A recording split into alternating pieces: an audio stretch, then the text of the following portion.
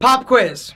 What's this? A hair dryer? No, wrong. It's a hair destroyer. If you are using this or anything on your flowing locks of luscious amazingness with heat, you are potentially damaging your incredible hair. Our hair is delicate, right? It's fragile. And if you take care of it, it's going to be amazing for a long time. But if you are using a hair dryer or a flat iron, anything that is direct heat on your hair, guys, it is critical that you protect. It's critical that you use a heat protectant spray. The way that these work, it's pretty incredible. There are ingredients in the spray that are going to help strengthen, going to help protect, going to help soothe. All right, keratin is incredible in terms of strengthening your hair. Chamomile soothes, while glycerin helps moisturize and condition. There are some other botanicals that basically act as a force field around your hair. The way that you use it after the shower, you towel dry your hair and then just apply like two, three, four squirts, work it in, and then style like normal. The other upside to using a heat protectant spray, it's gonna add a little bit of shine, a little bit of hold, a little bit of volume. Guys,